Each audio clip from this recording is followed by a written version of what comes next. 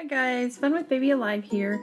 Um, I made a video with our new stroller with little Violet and this um, little crib was in the background and I had someone ask if I would do a details video on this crib and let's get Violet out. This is actually an older Bitty Baby crib. Um, it says Bitty Baby over here um, it's really cute. It's made of plastic, but it looks super cute, like a real baby crib.